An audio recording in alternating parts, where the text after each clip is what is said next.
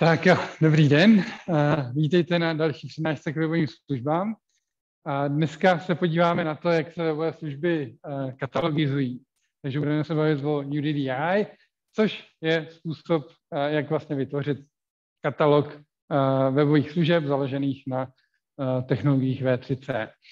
Uh, už jsme se bavili tedy o webových službách založených na SOAPu, Takhle vypadá zpráva takový typický webový služby. No a pak jsme se bavili o tom, jak se vlastně dá popsat rozhraní nebo kontrakt webové služby pomocí Vizdlu, kde tedy máme napsané to, na kterém endpointu ta služba běží, a to poskytuje za operace, jaký XML zprávy se tam vyměňují, a vlastně všechno, co je potřeba k technické komunikaci s tou službou. No a pak na cvičeních jsme viděli, že jak stačí mít ten Vizdl, a pak klienti, jako třeba jsou UI, jsou schopni prostě vygenerovat všechno, co je potřeba pro komunikaci s tou službou. Nejenom jsou UI, ale i různý sady knihoven, který prostě vygenerují klienta na základě toho, jak vypadá ten Vizdl. No a uh, úplně na první přednášce jsme si vlastně říkali, že uh, ta původní idea webových služeb je založená na tom, že vlastně ten budoucí klient a budoucí server se znají a vědí o sobě a domluví se na tom, jak ty služby budou vypadat, vymění si třeba ten Vizdl a potom už spolu komunikují, ale znají se. No a tohle je potřeba trošku, trošku generalizovat, že jo, pro prostředí, kde těch služeb může být víc, tisíce a podobně a můžou běžet celosvětově. No a k tomu právě slouží UDDI, což je tedy specifikace pro to, jak vypadá Eh, katalog webových služeb a to jak na úrovni toho, jaký, jaká data se o těch službách eh, evidují, tak i to, eh, pomocí kterých API se v tom katalogu vyhledává, jak se tam ty služby registrují a podobně. A UDDI není jenom o katalogu služeb ve smyslu webových služeb, to je tam jakoby jeden díleček celé skládačky, ale UDDI se soustředuje na něco univerzálnějšího a to je vlastně na registraci i jednotlivých business entit, což můžou být organizace, jejich eh, různá oddělení a podobně, a jejich business služeb. Takže to je to, co věcně, věcně poskytují za službu a ta věcně poskytovaná služba potom může být implementovaná nebo je implementovaná pomocí webových služeb, které jsou popsány technicky. No a teď tedy k čemu takový UDDI katalog můžeme eh, použít, tak jsou to ty use cases, které jsme čekali. To znamená, můžeme najít eh, webovou službu, eh, konkrétně její implementaci na základě toho, jakou business službu vykonávají, takže nebo na základě třeba té abstraktní části Vizdl souboru. Takže máme port type, který říká, jaké operace ta služba umí, a my hledáme všechny instance těch konkrétních služeb, které takovýhle port type implementují. Um, UDDI se hodně zaměřuje na klasifikace, takže všechny ty věci, co tam jsou, co tam jsou katalogizované, jako uh, businessy, jejich služby a potom ty technické služby, tak můžou být kategorizovány různými taxonomiemi, takže vyhledávání podle těle těch různých kategorizací. Um, můžeme samozřejmě chtít vědět, uh, která služba třeba, nebo jestli ta služba komunikuje pomocí HTTP nebo pomocí něčeho jiného, nebo naopak můžeme hledat všechny služby, které používají SOAP a takovéhle, uh, takovéhle uh, use case. No a to je ze strany toho hledání, ze strany toho vlastně té, té katalogizace, toho oznámení, že tady je nějaká webová služba, která něco umí a toho zanesení do toho katalogu, tak samozřejmě zpráva tohle z toho záznamu je další use case pro, pro UDDI. No a jak to pak funguje?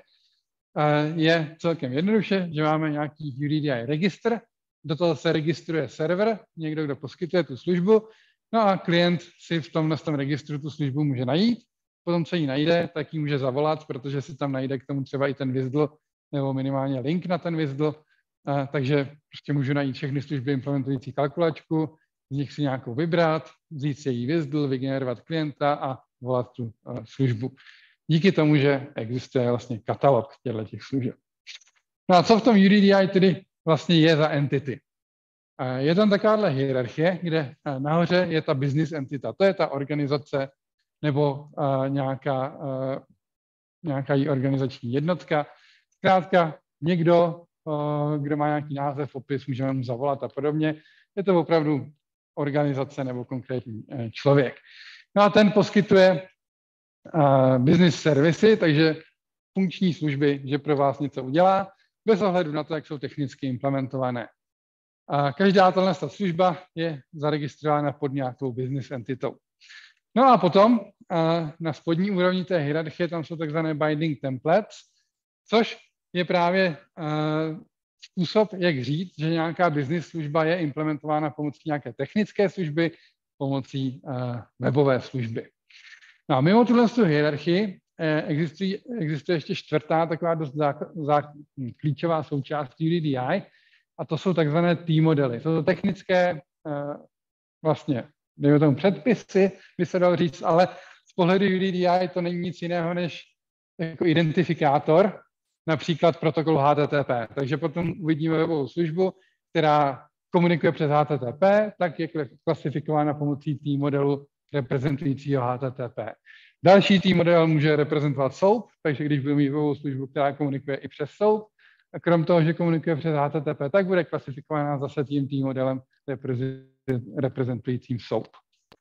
Uh, no, a tedy máme tu business entity, pod ní máme business services, pod ní máme binding templates, to jsou ty konkrétní služby a ty odkazují na ty tým modely, takže to je to základní a vlastně hierarchie a tým modely. A vedle ještě v UDDI můžeme nalíst nějaké informace o těch eh, poskytovatelích eh, těch služeb, protože UDDI je zaměřený jako ano, na webové služby, ale i na ty entity a jejich služby eh, biznisový.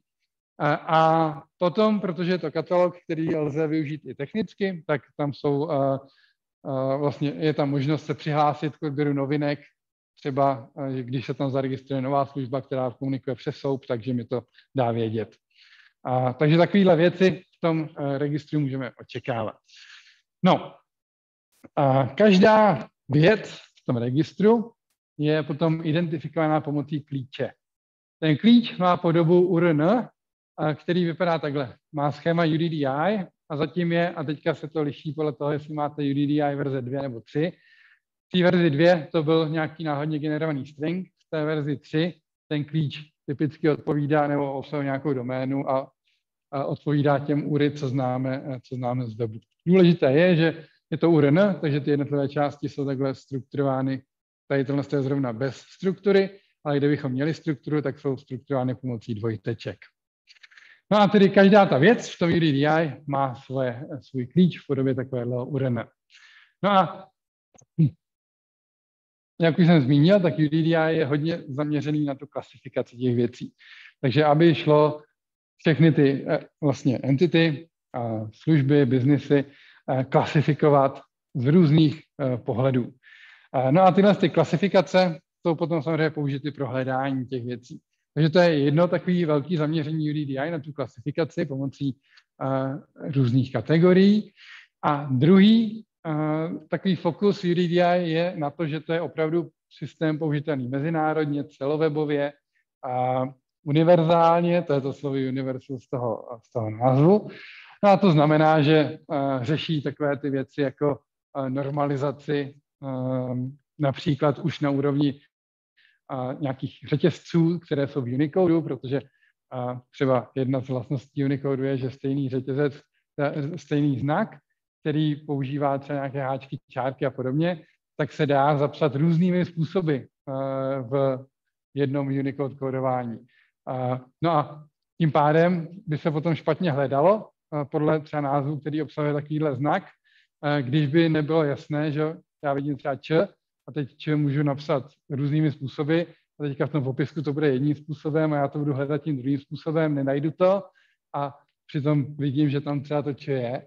Tak takový, takovéhle problémy se řeší tím, že se stanovila třeba Unicode normalizační forma C, která všechny tyhle ty znaky, které se dají vyjádřit různými způsoby, tak řekne, který je ten pravý nebo ten kanonický způsob a, a podporuje to, že ty řetězce jsou takhle transformovány do téhle té normální formy.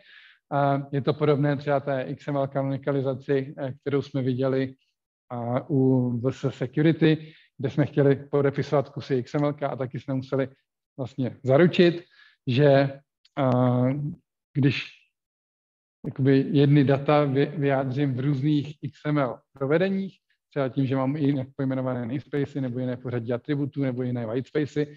Takže všechny tyhle ty dokumenty, když je znormalizuju, udělám z toho tu kanonickou formu, takže vlastně dostanu jednu podobu, kterou pak můžu digitálně podepsat. Uh, tak uh, něco podobného je tady třeba i pro ten, uh, pro ten Unicode. A pak se řeší, jak se třeba řadí že jo, výsledky v různých jazycích. Zase známe z češtiny, že když to řazení je špatně udělané, tak nejdřív jsou ty výsledky zařazené podle anglické abecedy a za zetkem začnou háčky, čárky a podobně. To není úplně dobrý třeba pro český řazení, že my jsme chtěli, aby če bylo za C a podobně. Takže to taky se řeší v rámci toho URDI, aby se v tom zkrátka globálně hledalo, hledalo dobře. Tak, no a pojďme se podívat na to, jak teda ty jednotlivé entity v tom UDI vypadají technicky a, a začneme od business entity, což teda reprezentuje nějakou firmu nebo nějaké oddělení. A, no a teďka to tam můžeme v tom katalogu mít. Takže a, jsou tam ty běžné věci, název, popis. Ale protože jsme a, u, a, u firem nebo oddělení, tak tam jsou věci jako kontakty, No a pak tam jsou identifikátory, protože jednu věc může mít identifikovanou různými způsoby, tak je tam celá sada identifikátorů, no a samozřejmě sada těch e, kategorizačních záznamů, aby jsme tu danou firmu mohli dobře najít. To, co nás bude zajímat nejvíc, je, že ta business entita má své business services, ale k těm se dostaneme až za chvíli, až se o těch business services budeme, budeme povídat. Jak tedy konkrétně ten záznam může pro business entitu vypadat? Tak zase UDDI je založeno samozřejmě jako všechny ostatní V30 um, webové služby a jejich technologie na XML, takže ty záznamy jsou XML uh, dokumenty. No a tady tady máme business entity, máme, uh, máme její klíč, uh, který je tedy, vidíme to URN, je to API z, z verze 3, takže to URN má něco společného s doménami na, na webu. A, takže máme takhle identifikovanou business entitu, no a máme tady discovery URL, znamená, kde se dozvím něco víc o té entitě. Tady v tom případě vím, že to je homepage, tady ten use type je zase klasifikace tady těchto těch URL, mohou tam být i jiné typy, ale přímo v UDDI je zadefinována homepage, takže já vím, kde ta firma nebo to udělení, zkrátka ta business entita má svoji homepage. Pak je tady jméno, všimněme si, že je to, to uh, více jazyčný, nebo tak název je text v nějakém konkrétním jazyce a ten jazyk reprezentujeme pomocí XML atributu XML lang, což je standardní způsob, jak v XML říct, že text je v nějakém jazyce, takže tady to máme v angličtině, popis taky. Ty business services teďka přeskočím, to uvidíme za chvíli. A pak na konci je tady ten category bag, což je místo, kde se vlastně odkazujeme na ty jednotlivé hodnoty z těch různých taxonomí a klasifikačních schémat, které tady mohou být použity. My tady máme teda jenom, eh, jenom jedno konkrétní, které ještě říká, že to je nějaký obecný úzel v tom EDI, takže to nám zrovna k vyhledávání příliš nepomůže. Tak, eh, jdeme o úroveň níž. Ještě jsem nezmínil, že nikdy se tady těm business entity záznamům v tom EDI přezdívá white pages. To je proto, že jestli jste někdy vlastně viděli Eh, zlaté stránky třeba, takový ty knižní, tak tam byla ta bílá část, kde byly prostě ty záznamy o těch firmách a potom byla ta žlutá část, což byly záznamy o těch službách, co kdo poskytuje. Uh, no a proto je to rozdělení takhle, že Yellow Pages jsou ty business services, zná kdo co poskytuje, a zatímco ty záznamy o těch firmách jako takových jsou ty white pages. No, uh, takže Yellow Pages, to jsou ty business služby. Čili například, že si tam můžete něco objednat, nebo můžete být notifikován nebo nějaká taková business služba, tak eh, to je to, co business entity může poskytovat. No a o té službě víme zase název, popis, kategorii eh, bag, takže zase ji můžeme klasifikovat. No a pak tam bude zase pro nás nejdůležitější část, to jsou ty binding templates, což už jsou ty techničtější popisky toho, jak tahle ta business služba je implementovaná jako technická webová služba. Zase příklad v jak tohle může vypadat. A takže tady máme business službu s jejím klíčem. A je tady jak service key, tak je tady business key, který říká vlastně, kterýmu tomu business entity tady tato služba patří. No a je tady zase název, popis v nějakým konkrétním jazyce. binding templates přeskakujeme, k tomu se dostaneme za chvíli, a pak je tady kategorie bag, který už je tady trošku techničtější, protože vlastně o té business službě už říká, že tak je implementována něčím nebo komunikuje vlastně no, přes XML zprávy v tomhle tom namespaceu a dokonce tady odkazuje na WSDL službu, která tuhle tu business službu implementuje. A, takže to je to, co je tady v tom kategorii bagu. No a teď můžeme jít zase o úroveň níž, a, to už jsou ty binding templates, tedy ten technický předpis, jak s takovou službou, respektive s její implementací komunikovat. A, čili zase, tady nemáme název, máme description, pak máme access point, to je to, kam, kde tu službu můžeme volat. A máme sadu těch T modelů, což jsou právě ty technické specifikace nebo jejich reprezentace, kterých charakterizují tu technickou službu. No a pak máme zase kategorii back, protože to zase můžeme nějak pomocí taxonomí vlastně klasifikovat. Ten access point může mít různý typy. My uvidíme endpoint, to znamená, že to je opravdu nějaký endpoint, který někde žije a dá se mu poslat nějaký request. Taky častý je WSDL deployment, což znamená, že ten endpoint vlastně je ukazatel na WSDL soubor, ve kterém je potom napsaný, kde ten endpoint skutečně je. My uvidíme kombinaci toho, že tady máme endpoint a i víme, kde ten WSDL soubor potom je. No a zase tedy konkrétní příklad uh, tady tohle z toho binding template. Takže je to binding template, má svůj klíč a, a ukazuje pomocí service key na nadřazenou business službu a má popis v nějakým jazyce a má access point, což je tady nám už známá kalkulačka a, a je to toho typu endpoint. No a potom tady máme eh, ty už konkrétní tým modely, eh, respektive odkazy na ně. A vezmu to ze spoda. Takže tady o té službě říkám, že komunikuje pomocí HTTP, tím, že se odkazuje na tým model reprezentující HTTP. Komunikuje pomocí SOAPu, no a potom tady ještě jako tým modely jsou reprezentovaný kusy toho Vizblu, který vlastně popisuje tu službu, takže tady budeme mít vlastně tohle dole je identifikace toho port typu v tom Vizblu té kalkulačky a nad tím máme identifikaci bindingu, který je v tom Vizblu té kalkulačky. Tahle ta struktura vznikla tak, že v implementaci UDDI se ukázalo na Vizblu soubor kalkulačky, a na konci přednášky o tom ukážu jak, a tak vlastně se ten vězdl naimportuje a vytvoří se proto záznamy v tom, v tom UDDI. Vytvoří se jak ta business služba, tak ta binding template a vytvoří se tyhle ty team modely, respektive a klasifikuje se ta služba pomocí už existujících team modelů v případě HTTP a SOAPu. A, a, a tím je zaregistrován. No a Teďka poslední část vlastně z hlediska datového modelu UDDI, co nám chybí, tak jsou ty samotné T modely. Takže už jsme je viděli použité, ale um, o co jde, je, že to jsou vlastně reprezentace nějakých konkrétních technologií, kterými zase je označena ta služba, že je, že je implementuje. A ten T model uh, typicky obsahuje nějaký stručný popis, může být zase klasifikován, ale hlavně uh, odkazuje na definici toho, co co je reprezentováno. Takže třeba tady mám T-model pro ten uh, transportní protokol HTTP, který teda má tenhle ten klíč, ten jsme viděli použitý předtím, má jméno, to jméno, ale v tomhle případě není uh, text v přirozeném jazyce, je to zase URN, a má popis a má tady overview document, což je odkaz na dokument, který popisuje, co za technologie vlastně tohle to reprezentuje. Když byste šel eh, tady na tenhle ten link, tak eh, tam uvidíte, že to říká, ano, pokud webová služba komunikuje přes HTTP, tak v UDDI registru má být anotována tímhle s tím tým modelem. A, tak a pak je ten tým model kategorizován a, pomocí jiného tým modelu, který říká, že je to transportní protokol a, v vlastně kategorizaci typů věcí, co můžou být a, kategori- a, katalogizovány v UDDI katalogu. A tak, takže to, že ty modely se pojmenovávají pomocí úrovně, jsme už viděli.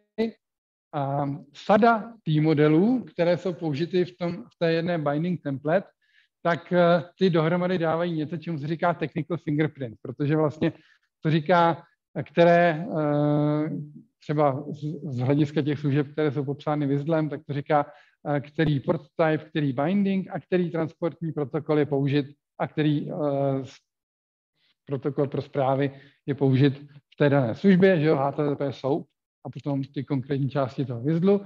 No a teďka kterákoliv služba, která implementuje uh, to samé, tak by měla stejný technical fingerprint. A podle toho, když tak můžu hledat, uh, hledat potom přes to hledací API. A, tak, dál ty T modely můžou reprezentovat různé modifikace třeba vyhledávání, takže může, může mít T model říkající, že vyhledávání má proběhnout case insensitive, nebo že to má být nějaký approximate match nebo exact match a podobně. A přehled těch uvidíme za chvíli. A, no a, viděli jsme už, jak vlastně T model reprezentuje konkrétní protokoly. Tak, tady je T-model právě, který říká, který je typu find qualifier a říká, že hledání by mělo probíhat jako approximate match. No a tady tenhle ten T-model zase bychom použili s apíčkem pro vyhledávání věcí v, v UDDI.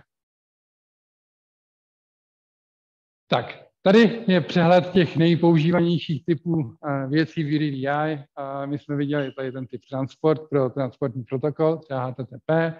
Uvidíme ještě tady typ key generator. A tohle je spíš pro informaci, že existuje takovýhle výčet těch typů, co se tam může vyskytovat. Prošli jsme většinu z toho datového modelu UDDI, ale jednu, jednu či dvě věci jsme ještě neprošli. Jedna je to tvrzení o těch jednotlivých biznisech. VDI, eh, prostě ty biznisy můžou ještě mít mezi sebou nějaké vztahy. Třeba tady eh, máme biznis 1 a biznis 2, ty biznisy jsou identifikovány pomocí jejich klíčů, proto je to BK1, BK2. A ehm, je tady indikovaný typ toho vztahu, který ty biznisy mezi sebou mají, a je to zase z výčtu, který je definovaný přímo v DDI a je tady řečeno, že ten business 1 a business 2 jsou v vzájemném vztahu parent-child. Takže jedna ta firma vlastně vlastní tu druhou. Takže takovéhle věci tam v těch firmách mohou být a mohou být potom použity ve vyhledávání třeba těch služeb pomocí firm a tak dále. No, takže to byl ten datový model. Je celkem jednoduchý, takže businessová, business, businessová služba, binding template a ty, ty, ty jednotlivé tým modely. Um, teď je otázka, jak se ty data podle těch uh, datových modelů dají použít k vyhledávání v tom uh, registru a k tomu slouží vlastně sada zase V3C webových služeb, které každý ten UDDI registr implementuje. No a je jich celá řada, ale nás bude nejvíc zajímat uh, Publication a Inquiry API. Každý z nich je separátní port type uh, z hlediska Vizlu. No a a krom těchto těch dvou, na které se koukneme blíž, a které tedy implementují to, co bychom čekali, čili vyhledávání a, a ukládání těch uh, věcí, které jsou v tom datovém modelu, tak ale UDDI je trošku složitější, takže uh, umí i replikaci z jednoho katalogu na, uh, na jiný, umí třeba přesouvání těch uh, jednotlivých věcí, které jsou zaregistrovány v jednom katalogu do jiného katalogu za pomocí autorizace, Eh, je tam API na eh, ty eh, subscriptions a potom je tam ještě separátní API na management těch kategorií nebo těch typů věcí a podobně. Tomu se obecně říká value sets. Tak, to hledací API vypadá tímhle tím způsobem. Je tam sada služeb, který začínají na find něco, kde můžete najít biznesy, servisy, jednotlivé ty binding templates, T modely a podobně. A potom get něco, kde si můžete o těch věcech, co jste našli, tak najít všechny detaily. Protože výsledkem té find služby je typicky seznam těch výskytů s jejich klíči a když chcete potom detaily, tak k tomu potřebujete zavolat tu get něco službu. A ty hledání se dají kvalifikovat zase pomocí těch tým modelů, které už byly zmíněny, právě na approximate match, exact match, case insensitive, case sensitive a podobně. Takže to je všechno podpora pro chytřejší vyhledávání. Příklad toho, jak se dá tedy v UDDI strojově něco najít, tak už jsem zmínil, že to je zase V3C webová služba soupovská, která umožní to hledání v tom katalogu. Takže tam zašleme soupovskou zprávu a hledáme tady třeba tu naší kalkulačku pomocí jména. Um, nemáme tady žádný kvalifikátor, je to prostě úplně jednoduchý přímočarý hledání, uh, ale mohli bychom použít třeba hledání pomocí konkrétních kategorií nebo pomocí konkrétních tým modelů. Takže bychom mohli říct, že nás zajímají jenom takové služby, které komunikují přes SOAP třeba. To tady nemáme, máme jednoduchý volání, kde hledáme tedy uh, služby, které se jmenují Calculator, no a dostaneme takovouhle odpověď, kde nejdřív dostaneme schrnutí toho, kolik jsme těch služeb uh, našli a potom dostaneme ty základní informace o těch nalezených službách. Základní jsou hlavně ty jejich klíče, plus teda název, aby bylo vidět, na základě čeho jsme to našli. Nicméně hlavně ten service a business key, což je uh, ten biznis, který vlastně vlastní tu službu. Takže tady jsme našli službu. A když o ní chceme uh, vědět víc, tak bychom použili get něco API a tam bychom dostali celý ten záznam pro tu danou službu. Když jsme na straně poskytovatele, to znamená toho, kdo má nějakou webovou službu a chce dostat do toho katalogu, tak bychom používali tady ty save anebo delete služby uh, v publication API. Uh, no a to je vlastně o těch API celkem, celkem vše. Jedna důležitá věc, kterou, uh, na kterou narazíme vlastně zítra na cvičení, až si budeme s UDDI trošku hrát, tak je to, jak se přidělují klíče těm jednotlivým věcem, které jsou registrovány v tom katalogu.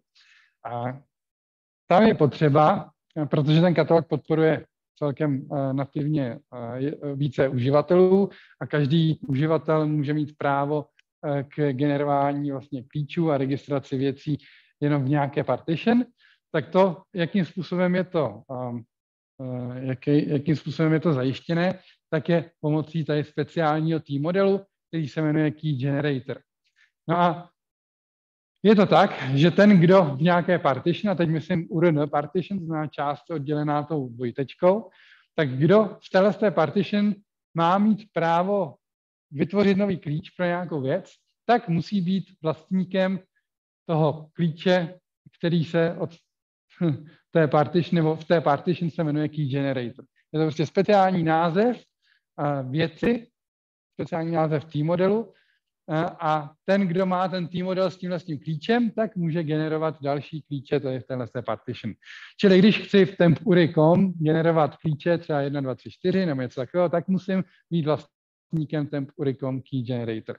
Když chci tvořit ten key generator, tak nemusím vlastně nic, pokud tam žádný není, tak ho prostě vytvoří nějaký uživatel a ten se stane vlastníkem toho key generator a může pak tvořit ty ostatní klíče v té partition. A pokud chci v subpartition udělat key generator, musím být vlastníkem key generatoru v té nadřazené partition. A, no a, a pak to funguje celkem přirozeně takhle. Takže, co budeme potřebovat na tom cvičení potom udělat, je zajistit, že jste vlastníkem toho key generator a pak tam můžete vytvářet ty další věci, identifikované dalšími klíči. Tak, teď už zmíněný, zmíněná souvislost eh, WISDLu a UDDI. Čili jsme v situaci, že máme webovou službu, třeba tu kalkulačku a její WISDL. A my ten WISDL použijeme pro registraci té služby v UDDI. Co se stane? No, stane se to, a tady máme prostřed takhle strukturu toho WISDLu, že ze služby, která v tom vyzluje, tak se vytvoří business služba a z portu, který je v té službě, tak se vytvoří binding template v téhle té business službě. No a tyhle ty věci jsou potom klasifikovány pomocí tým modelu, který vznikne z bindingu a z port typeu. To jsme mimochodem viděli trošku naznačené už předtím. Takže z bindingu vznikne nový tým model, z port typeu vznikne nový tým model a, a, a Tyhle ty oba jsou potom použity pro klasifikaci toho binding template a vzniklého sportu ve Vizglu. Tohle je automatický proces, takže jak potom vidíme na cvičení, stačí říct Vizgl, dát registrovat. A pokud na to mám práva, to znamená vlastním ten správný key generator, tak se mi ta služba v UDDI zaregistruje. Uh, už jsem zmiňoval, že existuje ještě API pro uh, registraci, když mě zajímá, co se v tom katalogu děje nového, abych byl notifikován, takže na to tam jsou zase příslušné služby, které mi umožní naspecifikovat vlastně filtry, um, pomocí, nebo které filtrují ty výsledky, které mě zajímají, když se změní. No a potom si tam můžu zaregistrovat svoji, své vlastní API, které bude volané v případě, že se tedy něco v tom katalogu změní pomocí subscription API. Tak, sliboval jsem, že to dneska bude rychlý a už končíme. Takže poslední věc je, že UDDI registry nejsou jenom jedna instance, eh, která by eh, běžela a hotovo, takhle to budeme mít samozřejmě na cvičení, ale je tady podpora vlastně pro eh, složitější strukturu nebo hierarchii. Můžeme mít UDDI node, což je nějaká minimální sada, minimální sada funkcionalit, ale pak můžeme mít celé registry, které obsahují několik těch nodů a ty registry ještě mezi sebou mohou mít vztahy, no a mezi těmi všemi instancemi UDI registrů můžou být natahány, natahány a vlastně cesty, jak tam replikovat záznamy a, a jak ty záznamy můžou cestovat mezi těmi jednotlivými registry a podobně. A, takže je to složitější, složitější specifikace, my ale do těchto těch detailů nepůjdeme a na cvičení si zkusíme uh, jednoduchou věc a to je spustit vlastně svůj vlastní, uh, svůj vlastní webovou službu jako server, to už jsme dělali, ale my to budeme chtít udělat tak, že když ten server spustíme, tak on se zaregistruje do UDDI katalogu a když ho skončíme, tak se zase odregistruje z UDDI katalogu. No a to budeme uh, dělat zítra.